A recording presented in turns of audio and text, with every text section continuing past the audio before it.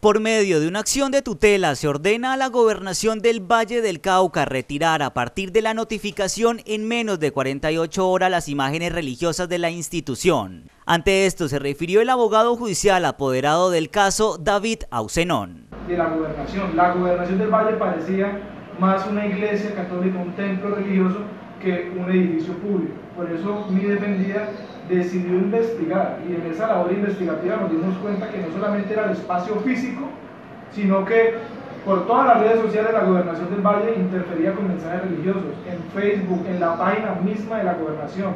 Otra de las prohibiciones es la realización de misas en las instalaciones y actividades que sean promovidas por la gobernación del Valle. En ese sentido invitamos no solamente a la gobernación, sino a todas las autoridades municipales, de gobernaciones, de presidencia, que por favor respeten el Estado laico.